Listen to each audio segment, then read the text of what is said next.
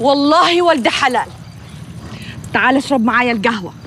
اشرب معاك إيه؟ ما يصحش. هو إيه ما يصحش؟ ما يصحش دلوك.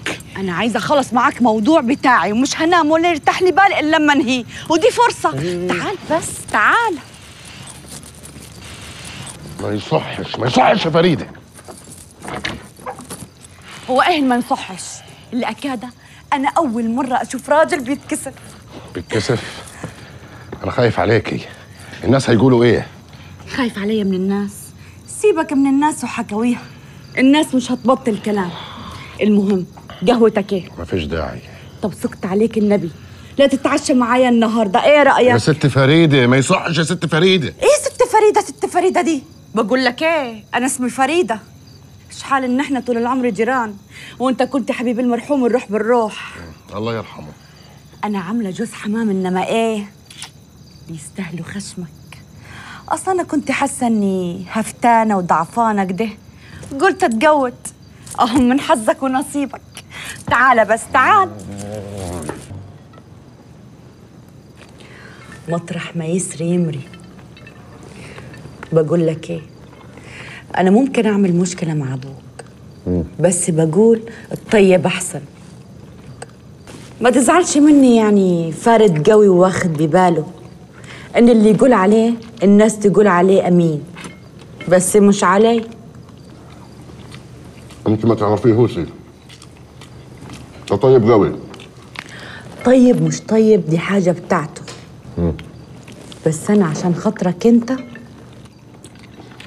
ساكتة.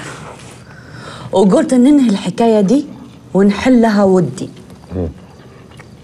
أنا بقول نتكلم الصبح. هو في إيه مالك؟ زي ما يكون في حاجة بتقرصك وأنت قاعد. مش للدرجة دي. أيوه كده فكها واضحك. الدنيا مش مستاهلة حاجة. شوف. أنا مش زعلانة من الحج بيعمله. آه. بس الحج حج. هو طلب طلب وأنا قلت لا. ما ينفعش. يبقى خلاص ولا إيه؟ أنت صح. طيب. أنا عايزاك تقول له إني فريدة مش واقفة قصادك ولا بتعاندك.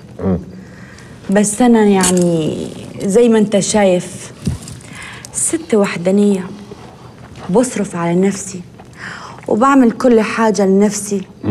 يعني زي ما بيقولوا كده ولية محتاجة اللي يوقف جارها. معاك حق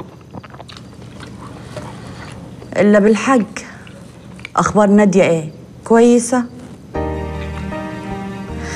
هي مش ناوية تجيب لك عيل كده يملى عليكم البيت؟